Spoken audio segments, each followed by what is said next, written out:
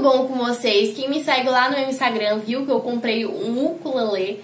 E eu sou apaixonada por ukuleles, eu acho um instrumento lindo, um som maravilhoso, diferente de tudo. E por isso eu comprei um ukulele.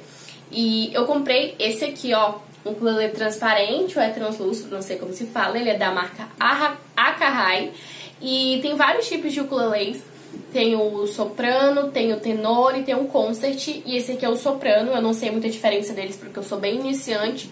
Mas ele é bom, gente. E ele é bem bonito. Algumas pessoas já perguntaram se é de brinquedo, mas não é de brinquedo, gente. É real mesmo. Eu sei já algumas notinhas. Mas vamos lá pro que realmente vocês querem saber, né? Que é o preço, onde eu comprei, quanto tempo demorou pra chegar.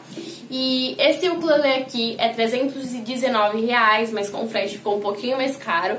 Eu comprei ele no Mercado Livre e durou uma semana para chegar. Eu fiz o pedido dele dia 10 de janeiro e ele chegou dia 16. Mas eu fui buscar lá no correio.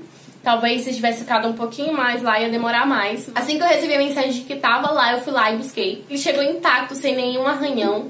E ele vinha apenas com essa mochila aqui, gente, bem básica, que protege apenas contra poeira, contra arranhão mas não protege contra impacto e vem escrito assim, Acarrai ukuleles, né?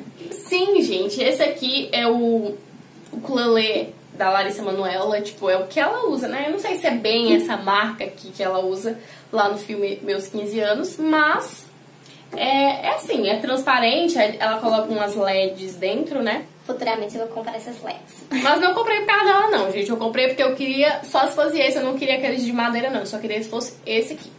Bom, gente, então é isso. Eu espero muito que vocês tenham gostado. É, eu recomendo pra vocês, se você quer comprar esse ukulele aqui, eu achei ele muito legal. E se você tá afim de comprar o mesmo que eu comprei, no mesmo vendedor lá no Mercado Livre, me pede o link lá no direct, porque eu não sei se tem algum problema de colocar link aqui no YouTube, mas eu acho que tem.